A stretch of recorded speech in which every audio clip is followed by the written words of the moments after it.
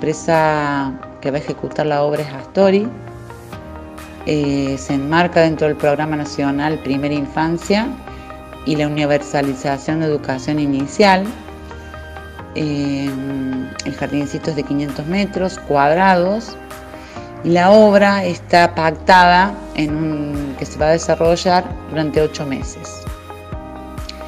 Eh, la implantación del jardín va a ser dentro de la manzana de la escuela Alem, ubicado sobre la calle Juan Pablo II. Es una obra pública que depende del Ministerio de Educación de la Nación y se desarrollará mediante una tipología de tres salas para niños de 3, 4 y 5 años. Tiene un Zoom con cocina y baño, área de gobierno, áreas exteriores de esparcimiento con pérgolas y patio de formación.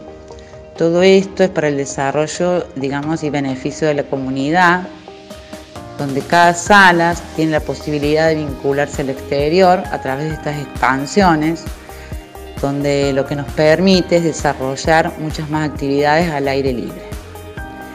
Bueno, el sistema constructivo propuesto es de tipo mixto, contando como fundación platea de hormigón armado, columnas y cerramientos premoldeados y la estructura de la cubierta es metálica, lo que nos permite una rapidez en la ejecución de la obra.